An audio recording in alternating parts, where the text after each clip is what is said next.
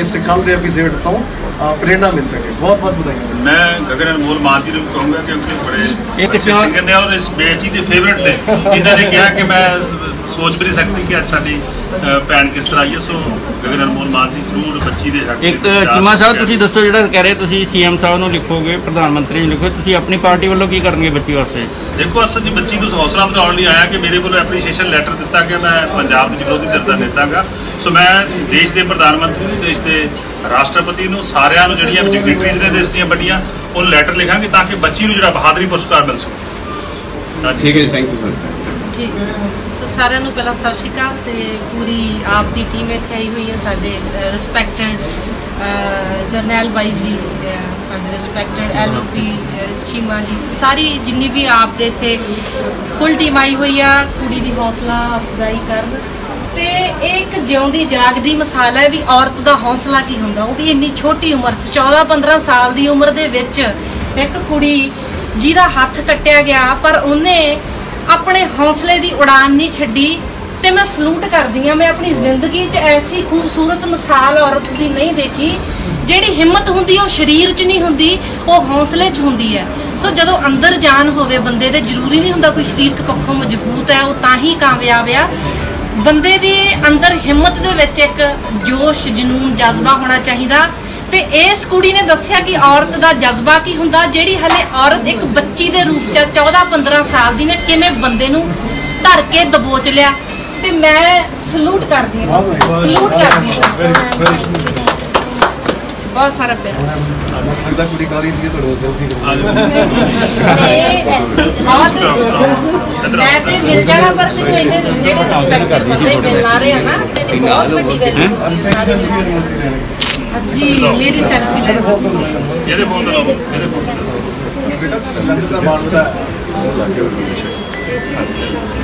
ਆ ਗਿਆ ਆ ਗਿਆ ਥੱਲੇ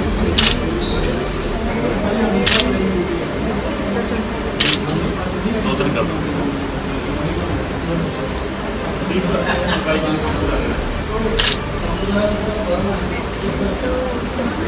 ਫਿਲਟਰ ਲਾ ਕੇ ਕਰਨੀ ਹੈ। ਨਾਲ ਤੂੰ ਕਹਿੰਦੀ ਫਿਲਟਰ ਲਾਓ ਫਿਲਟਰ ਤਾਂ ਤੂੰ ਉਹਨਾਂ ਮੁੰਡਿਆਂ ਨੂੰ ਲਾਇਆ ਨਾ। ਫਿਲਟਰ ਤੇ ਥੋੜਾ ਥੋੜਾ ਡਾਊਨ ਹੋ ਕੇ ਕਰੋ ਮੈਡਮ ਨਹੀਂ ਜ਼ਿਆਦਾ ਹੋ ਗਿਆ। ਉਹਨਾਂ ਦਾ ਫੇਸ ਨਹੀਂ ਆ ਰਿਹਾ ਗੁੱਡੀਆਂ ਦਾ। ਇਹ ਨੈਕਸਟ ਵਾਲੇ ਅੱਛਾ ਨੈਕਸਟ ਬੋਲਡ ਮਾਰ ਠੀਕ ਹੈ ਇਹਦੇ ਚ ਪੁੱਛ ਜਾ ਇਹ ਬਸ ਠੀਕ ਇੱਕ ਮਿੰਟ ਹੋ ਗਿਆ ਇਹ ਚ ਪਛਾਣ ਹੀ ਨਹੀਂ ਰਹੀ ਬਹੁਤ ਜ਼ਿਆਦਾ ਬਲੈਕ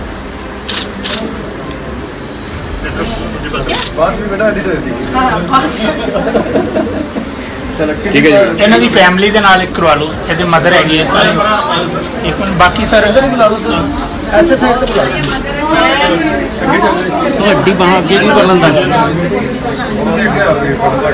ਕਿੰਨਾ ਹੌਸਲਾ ਕਿਵੇਂ ਆਇਆ ਇੰਨੀ ਮੇਰਾ ਦਿਲ ਪਤਲਾ ਪੈ ਤੁਸੀਂ ਨਾ ਇਹ ਸੈਂਟਰ ਦੇ ਟੇਬਲ ਪੈਰ ਬਿਠਾ ਲਓ ਇਹਨੂੰ ਮੈਂ ਮਾਰ ਛਾੜਿਆ ਕਹਿੰਦੀ ਮੈਂ ਮੇਰੇ ਭਰਾ ਦੇ ਫੋਨ ਲੈ ਦਿੱਤਾ ਪਤਾ ਨਹੀਂ ਲੱਗਾ ਸੈਂਟਰ ਵਾਲੇ ਬਿਠਾ ਕੇ ਖੜਾ ਹੋ ਜਾਣਾ ਮੇਰੇ ਹੱਥ 'ਚ ਸੱਟ ਲੱਗ ਗਿਆ ਮੈਨੂੰ ਬਾਅਦ 'ਚ ਜਦੋਂ ਆਂਟੀ ਨੇ ਕਿਹਾ ਤੇਰੇ ਹੱਥ 'ਚ ਖੂਨ ਵਗ ਰਿਹਾ ਉਦੋਂ ਮੈਨੂੰ ਪਤਾ ਲੱਗਾ ਮੇਰੇ ਹੱਥ 'ਚ ਸੱਟ ਜੋਸ਼ੀ ਬਣਾਇਆ ਇਹ ਰੀਅਲ ਹੀਰੋ ਆ। ਲੋਕ ਗਾਣਿਆਂ 'ਚ ਪਰਫਾਰਮੈਂਸ ਦਿੰਦੇ ਨੇ, ਫਿਲਮਾਂ ਕਰਦੇ ਨੇ।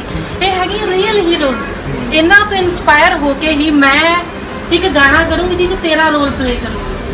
ਤੇਰੀ ਤੇਰਾ ਦੱਸਣਾ ਵੀ ਕੁੜੀ ਦੀ ਬਹਾਦਰੀ ਕੀ ਹੁੰਦੀ ਹੈ। ਤੈਨੂੰ ਤੈਨੂੰ ਵਿੱਚ ਲੈਣਾ ਜੇ ਤੂੰ ਐਕਟਿੰਗ ਕਰੂੰਗੀ। ਠੀਕ ਹੈ? ਕੀ ਗਾਣੇ ਦਾ ਕੀ ਹੋਏਗਾ ਚੀਜ਼ ਕੁੜੀਆਂ ਦੇ ਉੱਤੇ ਔਮਨ ਐਮਪਾਵਰਮੈਂਟ ਵੀ ਕੁੜੀਆਂ 'ਚ ਹੌਸਲਾ ਕਿਵੇਂ ਆ? ਕੁੜੀਆਂ ਸਮਾਜ ਦੀਆਂ ਸਿਰਜਣਹਾਰੀਆਂ ਨੇ। ਪਰ ਅੱਜ ਦਾ ਦੁਖਾਂਤ ਹੈ ਕਿ ਮਰਦ ਨੂੰ ਜਨਮ ਦੇਣ ਵਾਲੀ ਮਰਦ ਤੋਂ ਹੀ ਡਰ ਰਹੀ ਹੈ। ਸੋ ਔਰਤ ਨੂੰ ਪ੍ਰਮਾਤਮਾ ਨੇ ਪਹਿਲਾਂ ਭੇਜਿਆ ਹੋਣਾ। ਕਿ ਤੂੰ ਜਨਮਦਾਤਾ, ਤੂੰ ਦੁਨੀਆ ਕ੍ਰੀਏਟ ਕਰਨੀ ਹੈ ਬੰਦੇ ਨੂੰ ਨਾਲ ਭੇਜਿਆ ਕਿ ਤੂੰ ਇਹਦਾ ਹੌਸਲਾ ਵਧਾਉਣਾ, ਤੂੰ ਇਹਦੀ ਰੱਖਿਆ ਕਰਨੀ ਹੈ ਪਰ ਅੱਜ ਕਿਤੇ ਨਾ ਕਿਤੇ ਜਿਹੜੀ ਔਰਤ ਦੀ ਦੁਰਦਸ਼ਾ, ਉਹਨੂੰ ਇਹ ਸਮਝਿਆ ਜਾਂਦਾ ਵੀ ਹਾਂ, ਇਹ ਸਿਰਫ ਇੱਕ ਘਰੇ ਰੱਖਣ ਵਾਲੀ ਸ਼ਰਮ ਹਿਆਨਾ ਬੰਨੀ ਹੋਈ, ਤੂੰ ਕੁੜੀਆਂ ਕੁੜੀ ਦੇ ਦਾਇਰੇ 'ਚ ਰਹਿ। ਸੋ ਇਹਨੇ ਇੱਕ ਬਹੁਤ ਵੱਡੀ ਐਗਜ਼ਾਮਪਲ ਪੇਸ਼ ਕੀਤੀ ਹੈ ਕਿ ਕੁੜੀ ਦਾ ਦਾਇਰਾ ਕੀ ਹੁੰਦਾ ਤੇ ਕੁੜੀ ਦਾ ਹੌਸਲਾ ਕੀ ਹੁੰਦਾ। ਸਮਾਂ ਸਮਾਂ ਬਦਲਿਆ ਕੁੜੀ ਦੀ ਆਰਥਿਕ ਆਰਥਿਕ ਸਥਿਤੀ ਤੋਂ ਲੈ ਕੇ ਹਰ ਇੱਕ ਚੀਜ਼ ਦੇ ਵਿੱਚ ਬਦਲਾਅ ਆਇਆ, ਸਮਾਜਿਕ ਸਥਿਤੀ ਦੇ ਵਿੱਚ ਪੜ੍ਹ ਲਿਖ ਕੇ ਅੱਗੇ ਵੀ ਆਈ ਆ। ਮੁੰਡਿਆਂ ਨੇ ਵੀ ਬਹੁਤ ਸਪੋਰਟ ਕਰਨੀ ਸ਼ੁਰੂ ਕੀਤੀ ਹੈ। ਘਰਾਂ ਦੇ ਵਿੱਚ ਵੀ ਜਿਹੜੀ ਔਰਤ ਦੀ ਸਥਿਤੀ ਉਹ ਬਦਲੀ ਹੈ ਬੰਦੇ ਹੁਣ ਸਪੋਰਟ ਕਰਦੇ ਆ। ਪਰ ਕਿਤੇ ਨਾ ਕਿਤੇ ਇਹ ਸਾਰੇ ਜਾਣਦੇ ਨੇ ਵੀ ਔਰਤ ਨੂੰ ਔਰਤ ਬਣ ਕੇ ਇੱਕ ਉਹਨੂੰ ਇੱਕ ਦਾਇਰਾ ਬਣਾ ਦਿੱਤਾ ਗਿਆ ਕਿ ਇਹ ਤੋਂ ਬਾਹਰ ਔਰਤ ਨਾ ਜਾਵੇ। ਇੱਥੇ ਇਹਦੀ ਇੱਕ ਹੱਦ ਹੈ। ਸੋ ਇਹ ਹੱਦਾਂ ਇੱਕ 14-15 ਸਾਲ ਦੀ ਕੁੜੀ ਦੱਸ ਰਹੀ ਹੈ ਕਿ ਉਹਦੇ 'ਚ ਜੋਸ਼, ਜਨੂਨ ਕਿੰਨਾ ਹੈ? ਤੇ ਇਹ ਤੋਂ ਸਾਰੇ ਪੰਜਾਬ ਦੀਆਂ ਕੁੜੀਆਂ ਨੂੰ ਸਿੱਖਿਆ ਲੈਣ ਦੀ ਲੋੜ ਹੈ ਕਿ ਆਪਣਾ ਹੌਸਲਾ ਰੱਖੋ। ਜੇ ਚਾਹੇ ਮੈਂ ਨਹੀਂ ਕਹਿੰਦੀ ਵੀ ਕੋਈ ਵੱਡਾ ਜਾਂ ਛੋਟਾ ਔਰਤ, ਮਰਦ ਦੋਨਾਂ ਨਾਲ ਮਿਲ ਕੇ ਇੱਕ ਸਮਾਜ ਬਣਦਾ, ਖੂਬਸੂਰਤ ਸਮਾਜ ਦੀ ਸਿਰਜਣਾ ਹੁੰਦੀ ਹੈ। ਤੇ ਇਹ ਇੱਕ ਹੌਸਲੇ ਦੀ ਇੱਕ ਬਹੁਤ ਵੱਡੀ ਮਿਸਾਲ ਆ ਸੋ ਹਰ ਇੱਕ ਕੁੜੀ ਨੂੰ ਪਹਿਲਾਂ ਤੇ ਫੋਟੋ ਇਹਦੀ ਪੋਸਟ ਕਰੋ, ਸਾਰੇ ਸੋਸ਼ਲ ਮੀਡੀਆ ਉੱਤੇ ਸਾਰੀਆਂ ਕੁੜੀਆਂ ਨੂੰ ਮੇਰਾ ਮੈਸੇਜ ਹੈ ਤਾਂ ਕਿ ਹੋਰ ਕੁੜੀਆਂ ਨੂੰ ਪਤਾ ਲੱਗੇ ਕਿ ਇੰਨੀ ਛੋਟੀ ਉਮਰ ਦੇ ਵਿੱਚ ਇਹਨੇ ਕਿਵੇਂ ਬਾਖੂਬੀ ਨਾਲ ਬੜੇ ਦਲੇਰੀ ਦੇ ਨਾਲ ਗਲਤ ਮੁੰਡਿਆਂ ਦਾ ਜਿਹੜੇ ਸਮਾਜ ਨੂੰ ਖਰਾਬ ਕਰ ਰਹੇ ਨੇ ਇਹ ਜਦੋਂ ਸਾਹਮਣਾ ਕੀਤਾ ਜਿਹੜੇ ਤੋਂ ਉਮਰ ਤੋਂ ਦੁੱਗਣੇ ਸੀ। ਵੱਡੇ ਸਟਫ ਐਮਐਲ ਸਾਹਿਬ ਆਓ ਇੱਕ ਮਿੰਟ ਫੇਰ। ਤੇ ਤੁਸੀਂ ਗਾਣਾ ਕਦੋਂ ਤੱਕ ਬਣਾਓਗੇ ਇਸ ਟਾਈਮ ਬਣਾਵਾਂਗੇ ਬਾਈ ਜੀ ਟੈਨਸ਼ਨ ਨਾ ਸਰ ਇੱਕ ਮਿੰਟ ਕੇ ਆਇਓ ਸਾਡੇ ਨਾਲ। ਇਹਨਾਂ ਦੇ ਮੈਡਮ ਫੈਮਿਲੀ ਦੀ ਗੱਲ ਹੋ ਜੀ ਜਿਹੜੇ ਕਿ ਸਾਡੇ ਪਾਰਟੀ ਦੇ ਬੜੇ ਸੀਨੀਅਰ ਆਗੂ ਨੇ ਸਾਬਕਾ। ਹੁਣ ਸਮੱਸਿਆ ਭਾਵੇਂ ਕਿੱਡੀ ਵੀ ਹੋਵੇ ਘਬਰਾਉਣ ਦੀ ਲੋੜ ਨਹੀਂ ਕਿਉਂਕਿ ਪੰਡਿਤ ਵਿਕੇ ਸ਼ਾਸਤਰੀ ਕਰਨਗੇ ਤੁਹਾਡੀ ਹਰ ਸਮੱਸਿਆ ਦਾ ਸਮਾਧਾਨ। ਸੱਤ ਸਮੁੰਦਰੋਂ ਪਾਰ ਬੈਠੇ ਵੀ ਤੁਸੀਂ ਇੱਕ ਫੋਨ ਤੇ ਕਰਵਾ ਸਕਦੇ ਹੋ ਕੰਮ। ਜਿਵੇਂ ਵਸ਼ੀਕਰਨ ਲਵ ਮੈਰਿਜ ਵਿਦੇਸ਼ ਵਿੱਚ ਪੱਕੇ ਹੋਣਾ ਪੀਆਰ ਦੀ ਸਮੱਸਿਆ, ਸੌਂਤ ਦੁਸ਼ਮਣ ਤੋਂ ਛੁਟਕਾਰਾ, ਕਰਜ਼ਾ ਮੁਕਤੀ, ਪਤੀ ਪਤਨੀ ਵਿੱਚ ਕਲੇਸ਼, ਕੋਰਟ ਕਚਹਿਰੀ, ਬੱਚਿਆਂ ਦਾ ਕਹਿਣੇ ਤੋਂ ਬਾਹਰ, ਤੁਹਾਡੇ ਭੈਣ ਭਰਾ ਜਾਂ ਪ੍ਰੇਮੀ ਪ੍ਰੇਮਿਕਾ ਨੂੰ ਕਿਸੇ ਦੇ ਵਸ ਵਿੱਚੋਂ ਬਾਹਰ ਕੱਢਣ ਲਈ। ਤੁਰੰਤ ਪੰਡਿਤ ਵਿਕੇ ਸ਼ਾਸਤਰੀ ਨੂੰ ਫੋਨ ਕਰੋ। 99682 98782